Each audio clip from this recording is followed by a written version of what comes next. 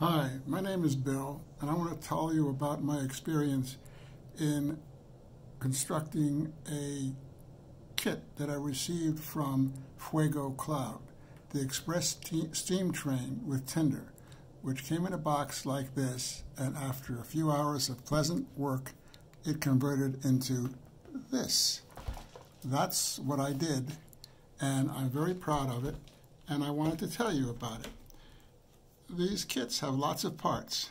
This one had 583 parts, but it's not too intimidating to start. And once you start, you'll get the hang of it and you'll enjoy every minute that you spend putting it together.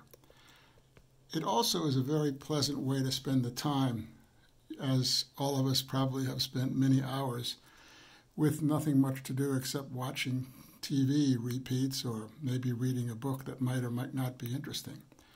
I got this uh, kit as a present for Father's Day, actually Grandfather's Day, because I'm 81 years old. And uh, I didn't know much about it, but I looked it up on the web and became fascinated. And then I began to assemble it, and I'm thrilled that I did. It is engrossing. It is a wonderful way to pass the time. It is mentally stimulating. And the result, as you can see, is terrific. In a minute, I'll show you some of the details. But I just want to tell you that this is a wonderful way to pass time, to take your mind off their troubles, to clear your head. And really, once you start, you won't want to stop. And if you have a little patience and follow the instructions, you'll achieve a great result.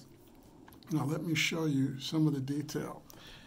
This is part of the gearing that makes the uh, kit roll forward and backwards. I haven't wound it up right, so I can't show it to you right now, but you see everything works. And there's a tender here, and it's connected. And if I do this the right way, I unhook the tender, and then I'm going to pick this up and show you some of the detail that's inside the cab. There is there are two seats for the fireman and the engineer. You can see maybe a, a little shovel hanging on the wall. The fire pit door opens. There's the brake and the throttle and all the other instruments that a train engineer needs to make it work. Uh, it's, it was really fascinating and very well worthwhile.